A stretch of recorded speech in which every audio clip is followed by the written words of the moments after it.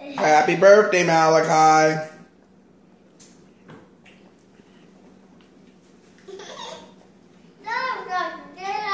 I'm five years old.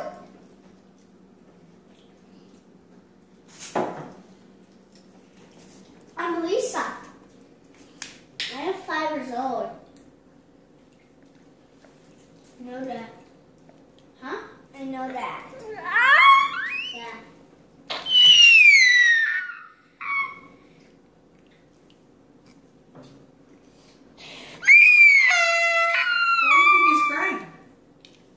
I don't know.